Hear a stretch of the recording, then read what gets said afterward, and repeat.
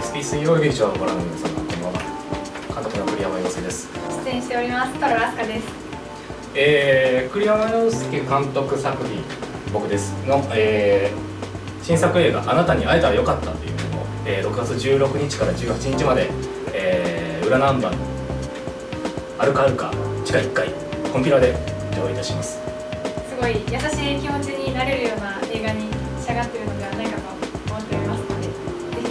興味ある方いらしてください。